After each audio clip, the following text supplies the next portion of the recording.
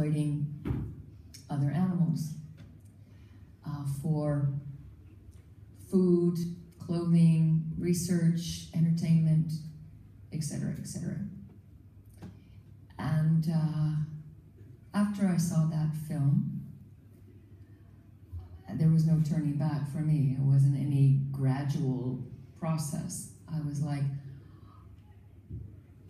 I can't be a part of this insanity. Um, I, I have to find a different way. And uh, so I stopped uh, eating all animal products. Um, I came to New York. I, I, met David there at the Life Cafe. David, uh, you went to the Life Cafe too, right? Yeah.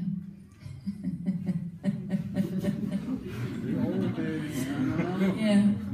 Um, and uh, so anyway, it's, it's, a long story, very complicated story, but um, well, there's complexity. It's not complicated. There's complexities. There's subtleties that I don't think we want to take up uh, a lot of time tonight talking about. But um, I'm still very active with veganism, and so is David. And um, at the time you met us, we were vegan um, with the vegan message too. Uh, and uh, I think it uh, goes hand in hand with yoga. If you define yoga as uh, experiencing ultimate happiness,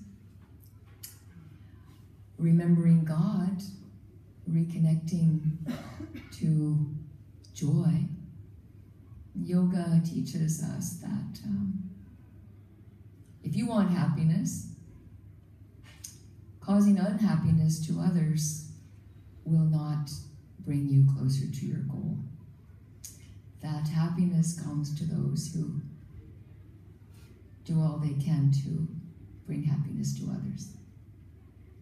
So I, it's wonderful. Look at you. You, you have this beautiful center. Look at those. Were those there? Those light fixtures? They're handmade. They're from actually the same era as this building was made. I got them handmade. So beautiful.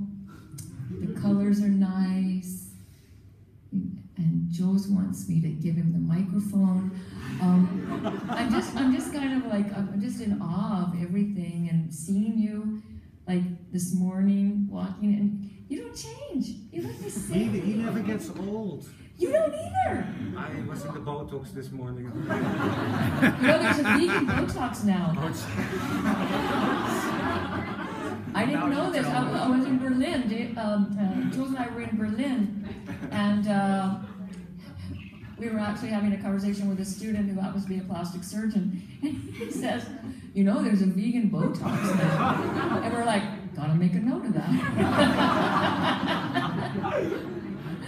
but um, of course, any any time that you can uh, diminish suffering is good. So if, if you if you need to have your Botox, get it get it vegan. You know, it's a good idea and Jules wants me to give him this microphone. Just before I do, I want to um, acknowledge another very important person in the Jivamukti community who is here, and that's Govinda.